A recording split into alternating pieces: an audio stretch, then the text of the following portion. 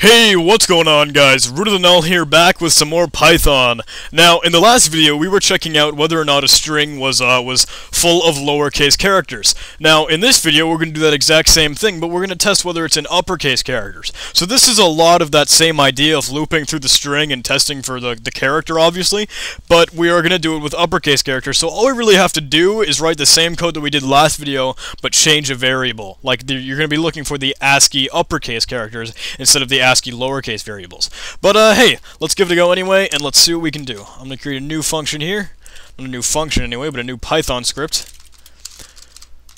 File.python, usr bin environment python class base. Look at this. Define, initialize, pass in self. Some some comments going here. We can we can test whether this is the current script that we're running. Got a random P in there. That's weird. root equals base. Alright.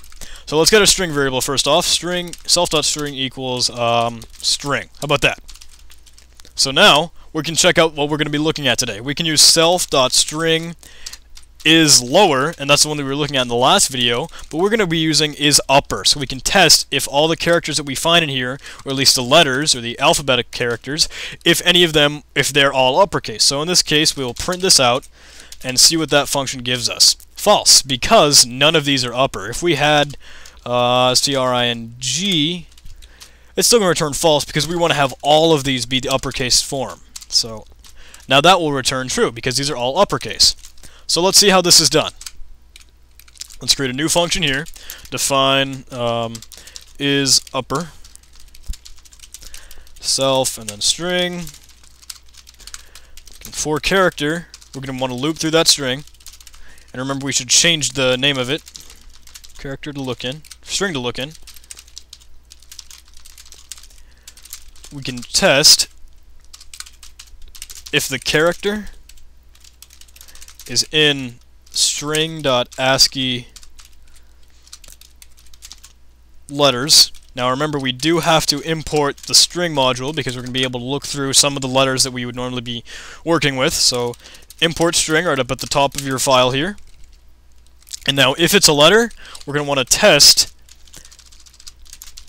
if that character is not in string.ascii uppercase, we've got a problem. We can just we can just break out of our function, break out of the loop and everything. We can just say, nope, this is not the way that it should be.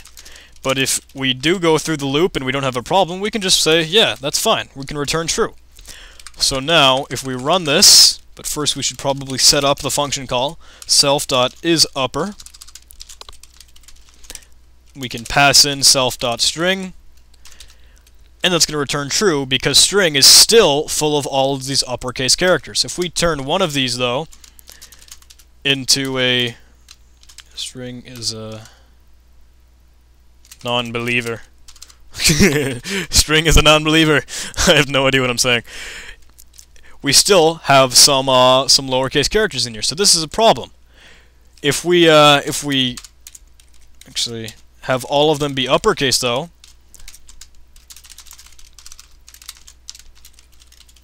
we still have white space, and we still have these, but it's still going to return true because all the characters that we're looking at are uppercase. But if we have one of them be wrong, then dude, you better uh, you better start praying.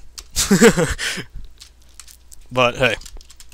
Alright guys, uh, I know this one is very simple, it's very similar to the last tutorial that we were looking at, and uh, really that's all for now. Uh, we can just loop through some of the great things that the string module supplies for us, and we are all set to go. So uh, thank you guys for watching. I hope you enjoyed this. I hope you were able to uh, figure out how that how the built-in function works here.